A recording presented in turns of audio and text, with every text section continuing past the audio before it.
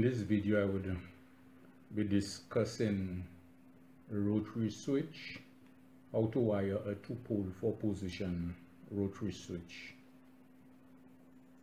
This is the switches I'm uh, talking about. This is the rotary switch you have four positions and one common. You could either wire it on this side or this side. It doesn't really matter what side you wire it on this hole here.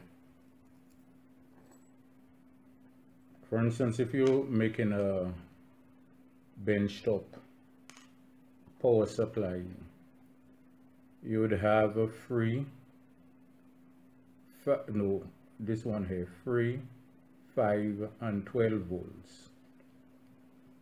Now this notch here once you line it up the terminal closer to this would be one uh, this is this one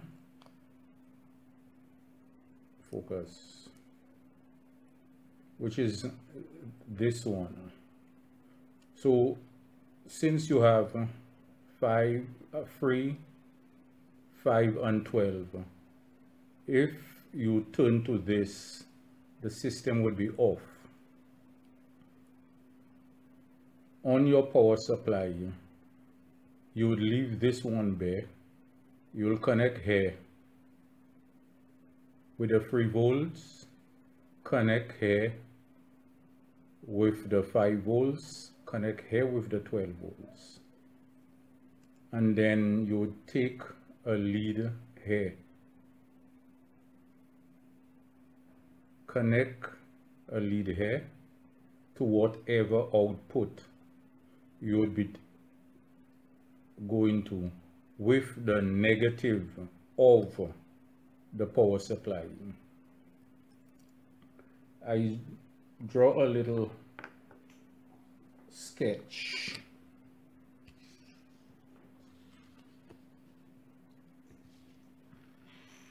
This is it. You have one, two, and three. Actually, the off was supposed to be here. But you all will get the hang of it. These three are the input. This, this is where your live would come in. Either 3, 5, and 12 volts. This would be the output of your power supply. Now you could turn it either way. It still comes to the same thing. On since it's a 10 position switch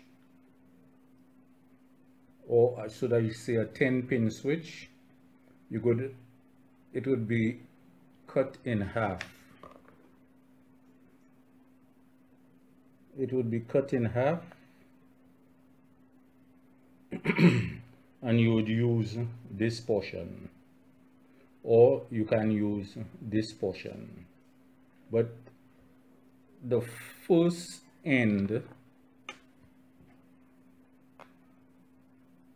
here would be pin 1 on this side you have pin 1 pin 1 is always the closest one so this is the hole here this is pin 1 so if you have a 3 5 and 12 when you in this position it would be off. When you take it out from here go here you'd be putting out 3 volts when you switch again you'd be putting out 5 volts when you switch you'd be putting out 12 volts when you want to put your unit off you come back here now I have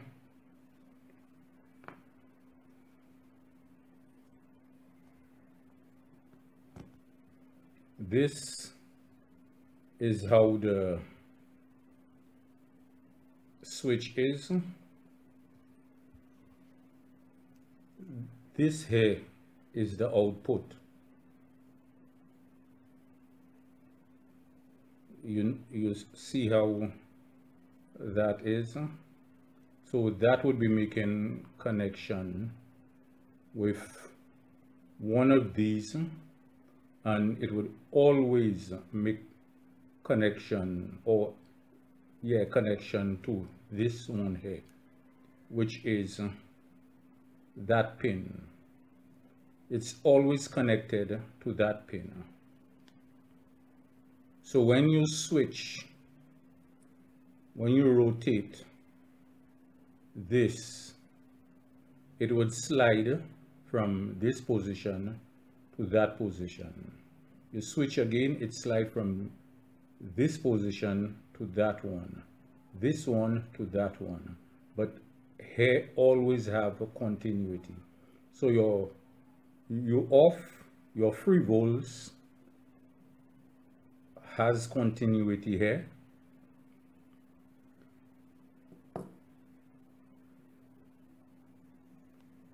your free volts has continuity here. When you switch to 5 volts continuity here. You switch to 12 volts continuity here. This is how it works.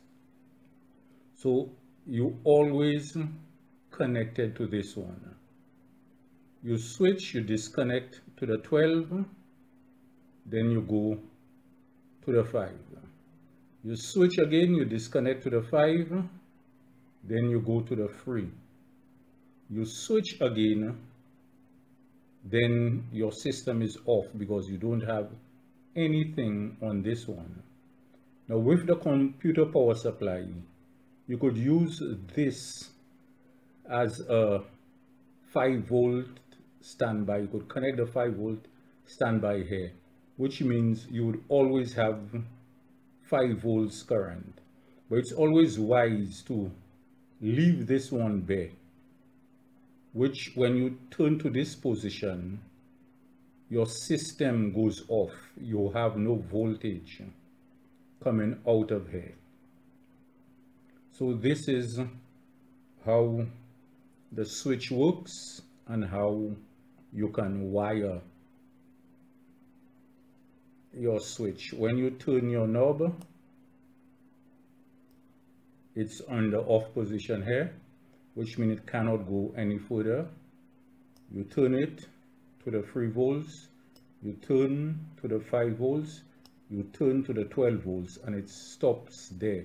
It cannot go any further.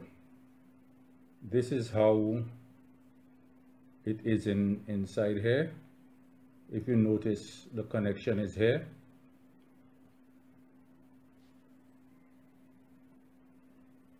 You turn let me put the knob which would make it easier for me to turn. You turn if you can see focus you turn again it makes contact. You turn you turn. Now let me just do a little demonstration with this meter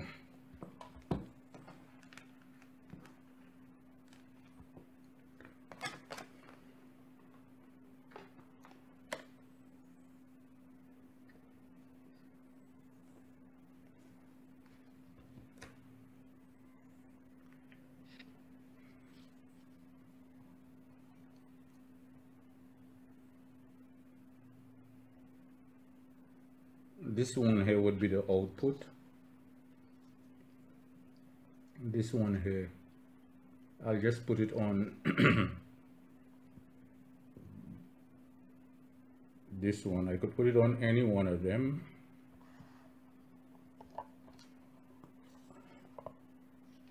And the meter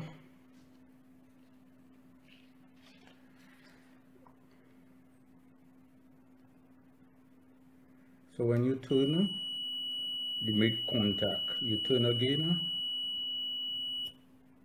it's off. Let me put it on uh, this one here.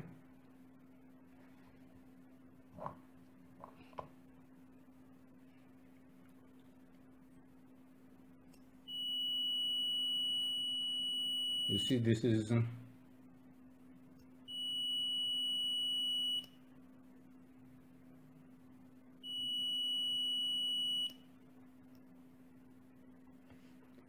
You could also use your multipurpose meter to test if you're not sure.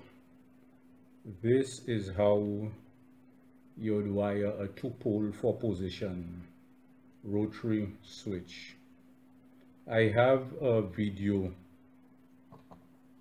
talking about the problem with this switch. It's a very good switch, but you have to do some minor adjustments to it. I'll put a link to the other video in the description so that you all could uh, have a look at it. If you enjoyed the video, please give me the thumbs up, subscribe and click on the bell icon. I'll put in the link everything I use in this video. Thank you let go. Uh, you decide if you're ever gonna let me know. Yeah.